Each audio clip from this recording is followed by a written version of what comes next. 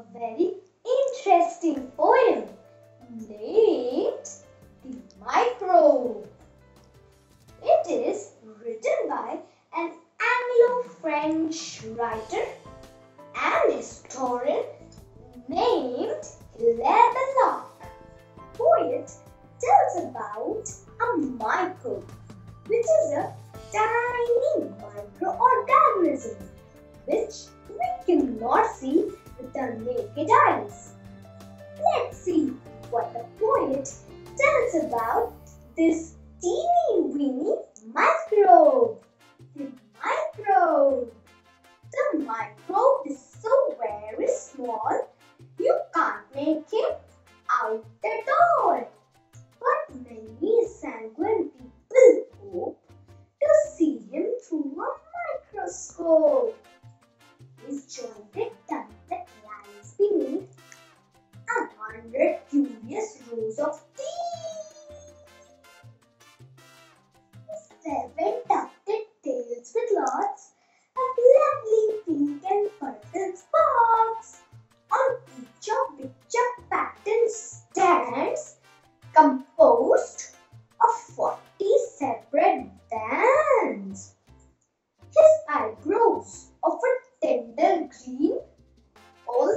have never yet been seen.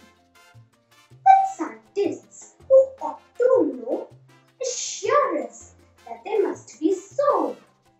Oh, let us never, never doubt what nobody is sure about. Thank you. If you like my video, please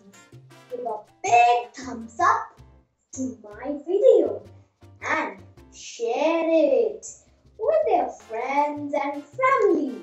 If not shared, my kind request to you all, my friends, share it. And if you're watching my video for the first time, please subscribe my channel and hit the bell icon. And don't forget to write your valuable comments in the comment box. And in case if you don't like my video, suggestion comment box. Thank you. Stay home. Stay safe.